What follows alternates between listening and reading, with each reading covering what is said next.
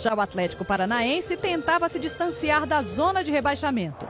Primeiro tempo equilibrado, com poucos chutes a gol. Mas no primeiro minuto do segundo tempo, Felipe Bastos arriscou do meio da rua e fez um golaço para acabar com a ansiedade do torcedor. Primeiro gol dele com a camisa do esporte. O Atlético pressionou. Quando teve chance, Magrão estava lá para salvar, como nessa cabeçada de Pablo. Ficou assim, 1 a 0 quinta vitória do esporte na Série A e vice-liderança do Brasileirão. E vencemos, né? Acho que assim, ah, não foi brilhante tecnicamente, não foi um show.